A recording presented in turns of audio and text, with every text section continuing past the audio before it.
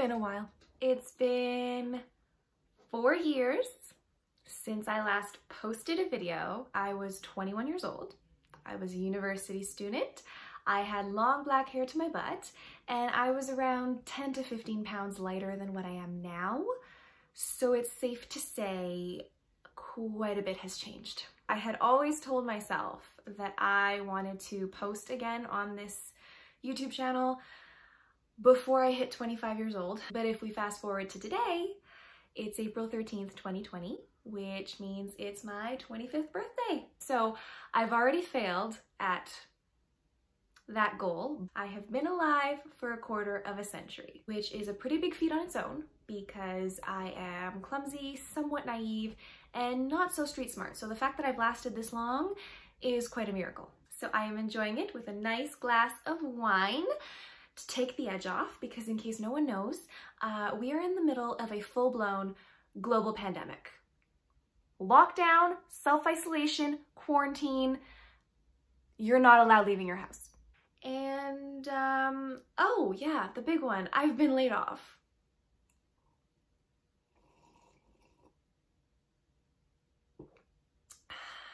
yeah, as of right now, I am not going back uh, to work until July. So I am treating this as the time to really self-reflect and um, do things that I wouldn't otherwise have the time to do. I could tell you this much. If someone had asked me the last time I posted my YouTube video, or even like three or four months ago, if I would expect to turn 25 in the middle of a lockdown, I would have laughed in your face or jumped off the roof. You never know.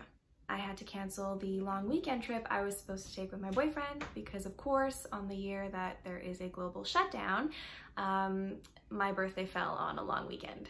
But all in all, it really wasn't that bad. It was a lot better than I expected.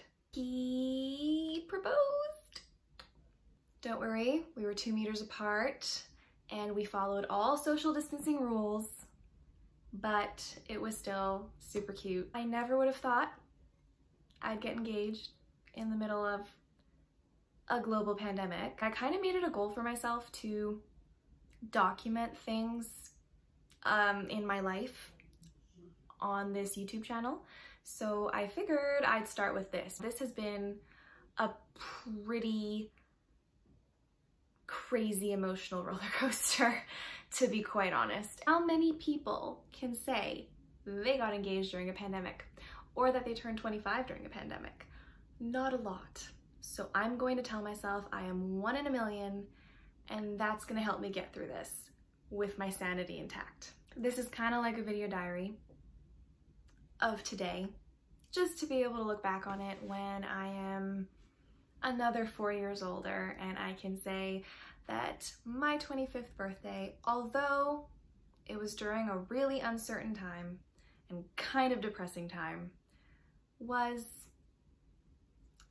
one of the best. I got one of the biggest surprises of my life and I will forever be grateful um, for just being alive, but also for the people around me that I love and that love me and